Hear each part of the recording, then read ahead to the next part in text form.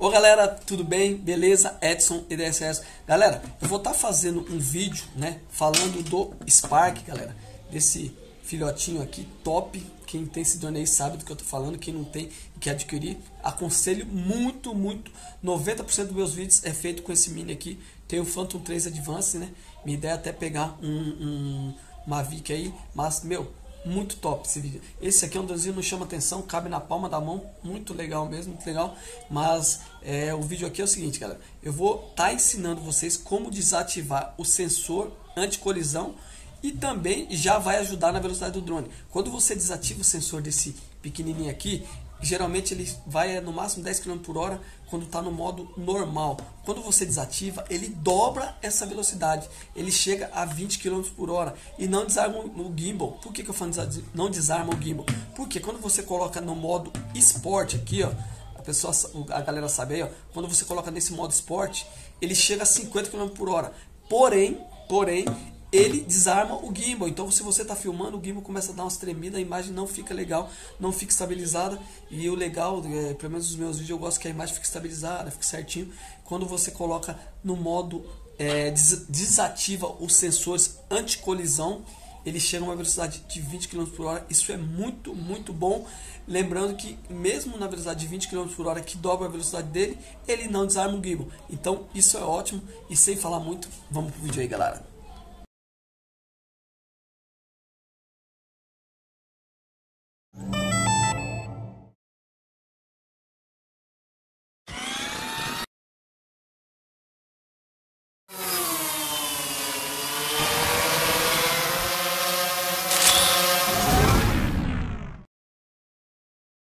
Então, pessoal, é, como eu falei aí no início aí, é, vou estar tá ensinando vocês, galera, a é, fazer com que esse drone corra mais em, no modo normal, né? Não no modo esporte, certo? Porque geralmente o que que acontece? Quando ele está no modo normal, ele não passa de 10 km por hora.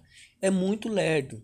E às vezes você precisa passar em algum obstáculo, você precisa passar em algum buraco, você está querendo fazer um, um, um voozinho FPVzinho é, aí, aí, pô, você tá no meio de umas árvores, você quer passar no meio das árvores, ele não passa. O sensor anticolisão bloqueia. Meu, é difícil você acertar o meio certinho para passar. Então, é, esse vídeo é justamente para isso, para me ensinar vocês a, de uma forma, desabilitando os sensores, ele tem uma velocidade de até 20 km por hora. E é muito bom, porque você precisa fazer algum vídeo, é, um exemplo, você tá, quer passar no meio de uma árvore, ele desabilita, ele com o sensor desabilitado, ele passa direto. Lógico que você vai ter que ter um pouco mais de habilidade ali. Lógico, você vai mirar certinho o meio, passar no meio certinho. Isso daí é, não tem jeito, né? Até com o sensor você tem que fazer isso. Porém, o sensor tem uma segurança maior, mas tem um lado negativo, né? Esse lado negativo justamente é o que?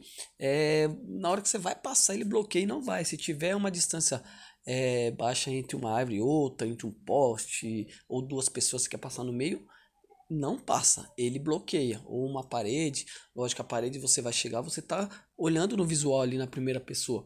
Então vamos lá. Então a gente vai aqui nos três pontinhos em cima, certo? Clicou nos três pontinhos.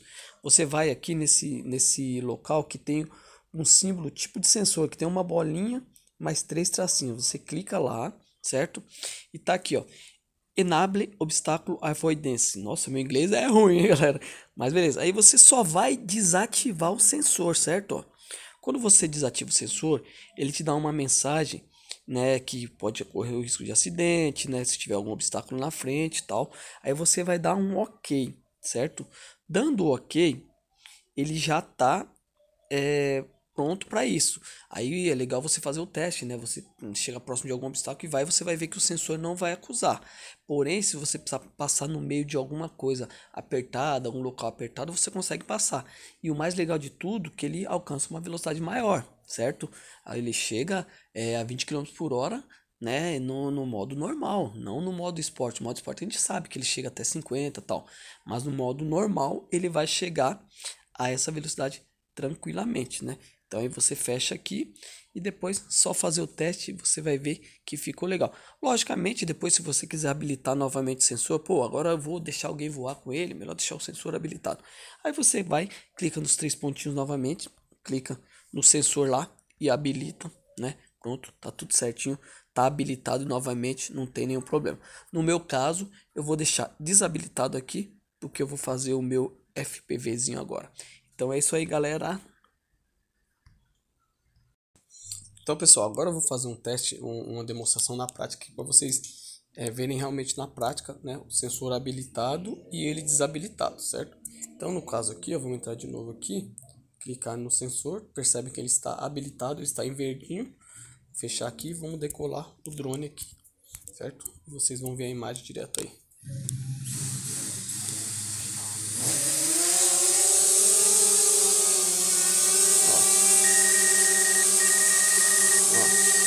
Percebe que o sensor está acusando aí, tá vendo? Ele não vai para frente. Tô jogando o drone para frente, ele não vai. Ó. Certo? Ó, vou para trás, ele vai, ó. Mas para frente ele não vai, ó. Tudo para frente, ele não tá indo. Agora eu vou fazer o que? Eu vou descer ele e desabilitar o sensor.